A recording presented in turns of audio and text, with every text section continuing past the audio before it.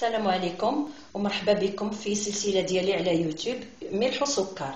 اليوم اختاريت نقدم لكم flan بال biscuit عندنا المقادير كالتالي. عندنا نص لتر ديال الحليب ونص لتر ديال الحليب آخر. عندنا السكر سنيدة.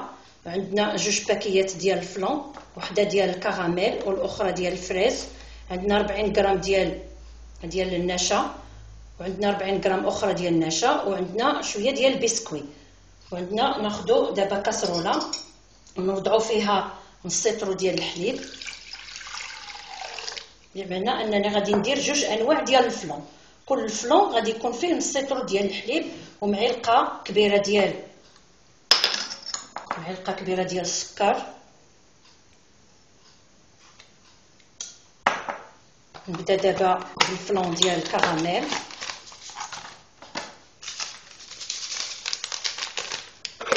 نقطعوه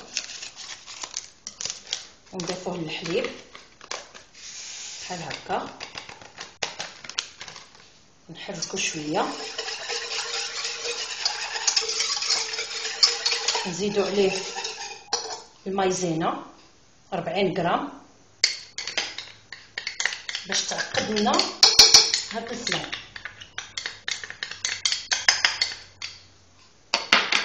نخلطو مزيان. الحليب طبعا راه بارد ما يحتاجش يكون سخون. نحركو مزيان.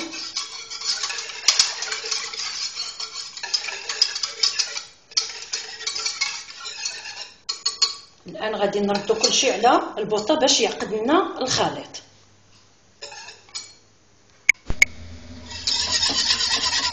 كنردو الكسرونة على البوطة. نبقاو تنحركو هكا حتى كيعقد لينا الخليط.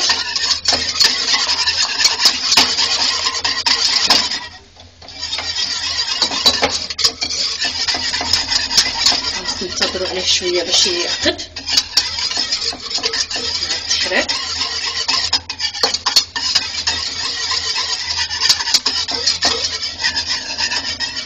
نسخن الحليب.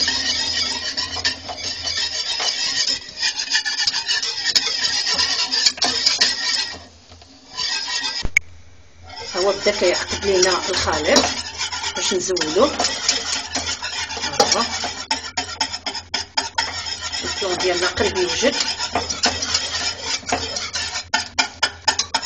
بحال هكا؟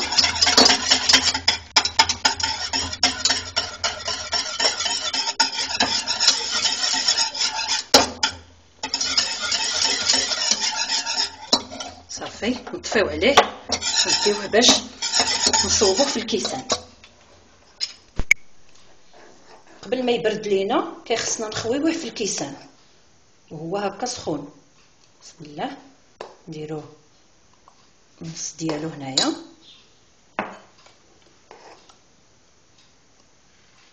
جهد جوج د المعالق ولا ثلاثة حيت هو غادي يجي طبقات بالألوان. نكملو بسرعة قبل ما يبرد.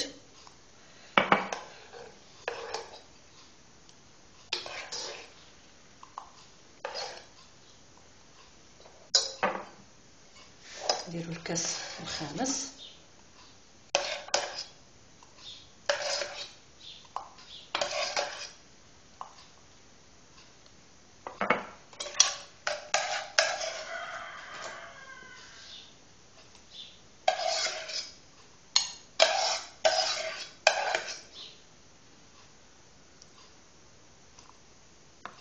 نقدو الكيسان. كناخدو البسكوي. نقطعوه هكا ونحطوه فوق فوق منه بحال هكا. طريفات ديال البسكوي مقطع. باش يلصق عليه. حيت غادي يبرد غادي يلصق عليه داك البسكوي. نكملو.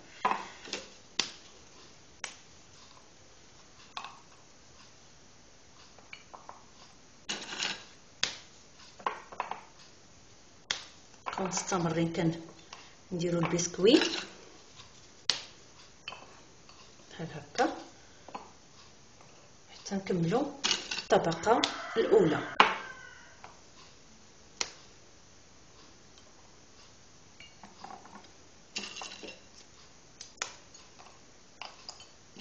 نديروا هاد الطريفات. شحال ما بغينا؟ صافي. نخليوه هكا. ونرجعوا نديروا المقدار الثاني. بنفس الطريقة ناخذوا نص لتر د الحليب نفرغوه في الكاسرونة. تنزيدوا معاه معلقه كبيرة ديال السكر. ما تنكثروش لأن ال flan déjà راه حلو. نزيدوا ال flan ديال ال fraise.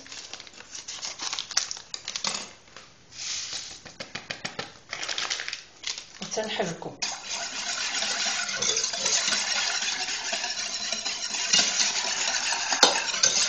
نزيدو الفلون والسكر مع الحليب. كنزيدو 40 غرام ديال المايزينا. تنخلطو مزيان باش تذوب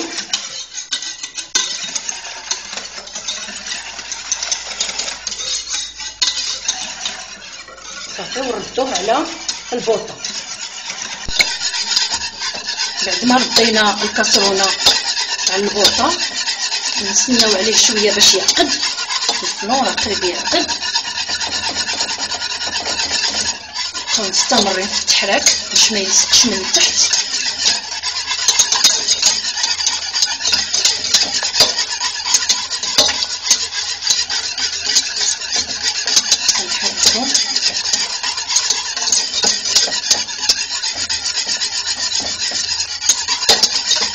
هذيك المايزينا كتساعدو دغيا باش كي كيعقد شي شوية. الا ما درناهالوش غادي يبقى سائل وخصو المده طويلة باش. باش يجمد. كنظن غادي بركه عليه. صافي نطفيو عليه ونمشيو باش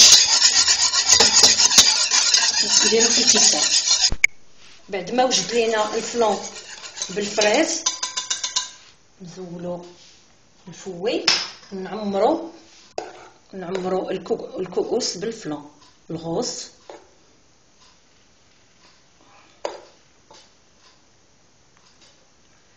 بحال هكا فوق البسكوي. باش تيجي طبقات نكملو هكا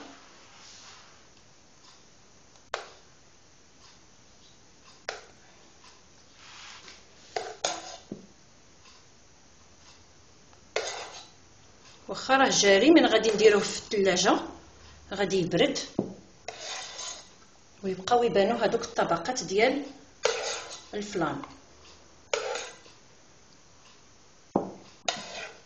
ما تبقى في الكاس الأخير.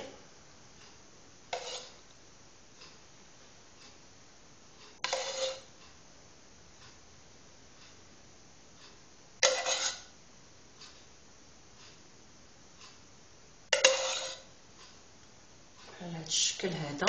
كيف كتشوفوا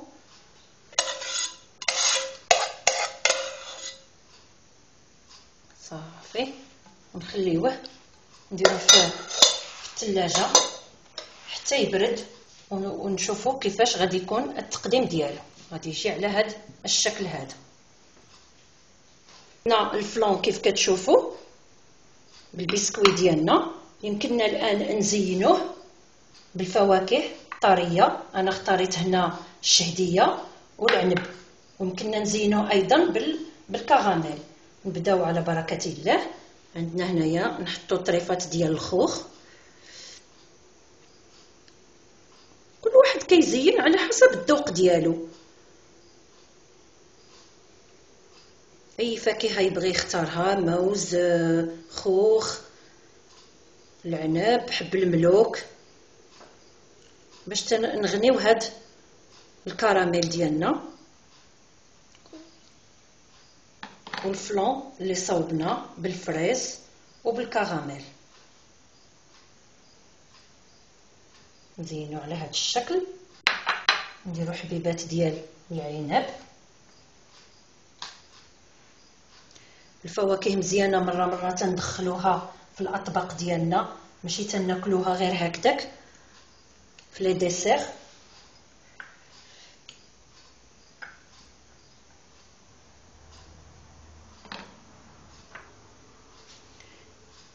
كنا نزينو هاد الكؤوس بشويه د الكراميل على هاد الشكل.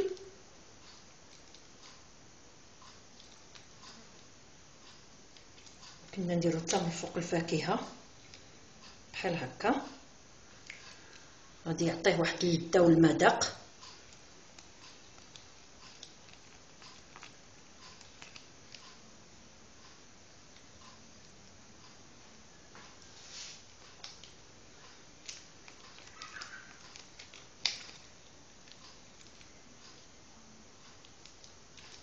نتمنى أن هذا النهار الطبق ديالي ينال الاعجاب ديالكم وما تنساوش أنكم تشاركوا معايا في السلسلة ديالي على يوتيوب. وشكرا وبالصحة والراحة وديروا لي جيم في في, في السلسلة ديالي. وشكرا.